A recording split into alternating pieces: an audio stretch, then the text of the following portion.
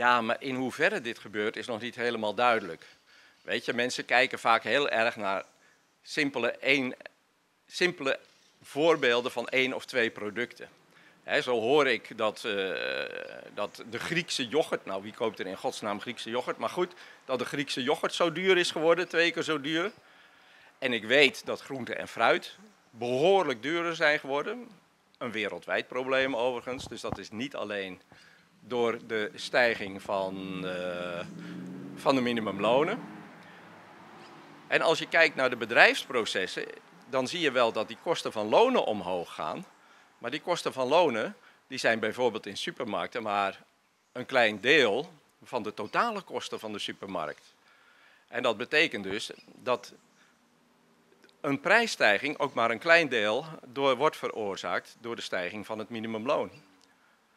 En we hebben helaas nog geen cijfers over het eerste kwartaal van 2024. Maar de Tienda para Consumidor die heeft wel prijzen opgenomen vorig jaar en tot en met januari.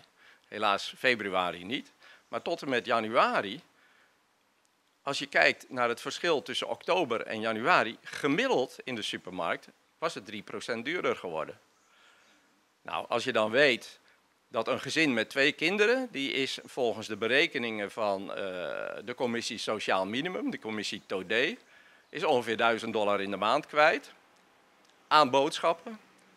En als dat 3% omhoog gaat, gaat dat dus met 30 dollar omhoog. Als je 300 dollar meer salaris hebt gekregen, dan ga je er enorm op vooruit. En dan kan je dus ook veel meer kopen, dan kunnen die bedrijven veel meer omzet hebben. En met die meer omzet kunnen ze dus ook een deel van die hogere salariskosten betalen. Dus, dus met andere woorden, de verhoging van salaris moet niet onze uh, probleem zijn uh, um, voor, uh, ja, voor de werknemers, voor de werkgevers. Nee, dat hoeft geen probleem te zijn.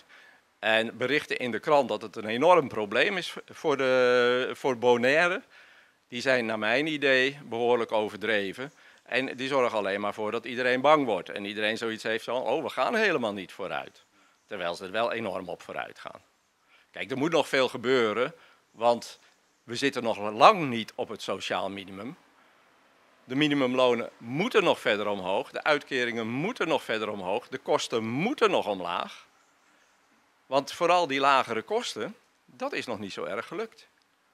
En om te kunnen leven van je salaris, moet niet alleen dat salaris omhoog, maar moeten ook de kosten omlaag.